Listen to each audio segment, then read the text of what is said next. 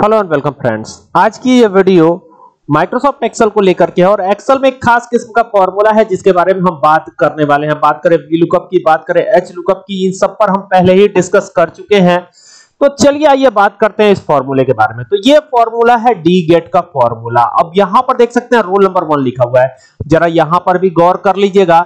यहाँ पर roll number अलग अलग टाइप के लिखे हुए हैं। जैसे किसी का रोल नंबर वन है, टू है, थ्री है।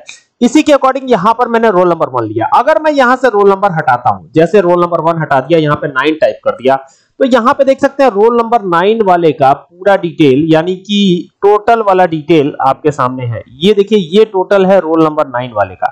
तो इसे आप देख सकते हैं, ये कुछ इस तरीके से यहाँ लिखा हुआ है 131 तो यहाँ पर 131 ही आया हुआ है। तो ये मैंने कैसे किया? ये आपको बताता हूँ, पहले यहाँ से ये चीज़ें हटा देता हूँ, फिर आपको बताता हूँ कि ये कैसे किया। ठीक है? चलिए आइए शुरू करते हैं। यहाँ पर डी गेट का फॉर्मूला यूज़ करेंगे। तो ये डी गेट हुआ और यहाँ पर डी गेट का फॉर्मूला जब हम लगाएँगे तो एक चीज़ ध्यान रखना है कि ये पूरा हेडिंग जो है ज़रूर आपको लिखना है। हेडिंग अगर नहीं लिखेंगे तो डी गेट का फॉर्मूला काम नहीं करेगा। तो यहाँ से हेडिंग ज़रूर लिखिएगा और यहाँ पर भी हेडिंग लिखिएगा। यानी दूसरे जगह जहाँ आपको डेटा फेच कराना है, वहाँ पर भी हेडिंग की ज़रूरत पड़ेगी। तो यहाँ से ये पूरा ही डेटाबेस सेलेक्ट कर लेता हूँ। क्योंकि, क्यों मैं क्यों मैं ऐसा कर रहा हूँ? उसके पीछे रीजन ये है यहाँ पर सिंटेक्स में क्या दिखा रहा है? डेटाबेस तो डेटाबेस यानी कि यही पूरा डेटाबेस हमें कर लेना है सेलेक्ट इस तरीके से सेलेक्ट करिएगा। ये पूरा डेटाबेस कर लिया?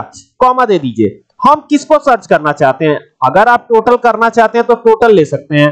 ठीक है, यहाँ पे डबल कोर्स में टोटल लिख दीजिए। अगर टोटल सर्च करना है तो अगर आपको केमिस्ट्री का नंबर देखना है फिजिक्स का नंबर देखना है, जो भी देखना है, उस चीज़ का नाम यहाँ पे टाइप कर दीजिए डबल कॉमा में। उसके बाद क्या करना है? आपको कॉमा देना है।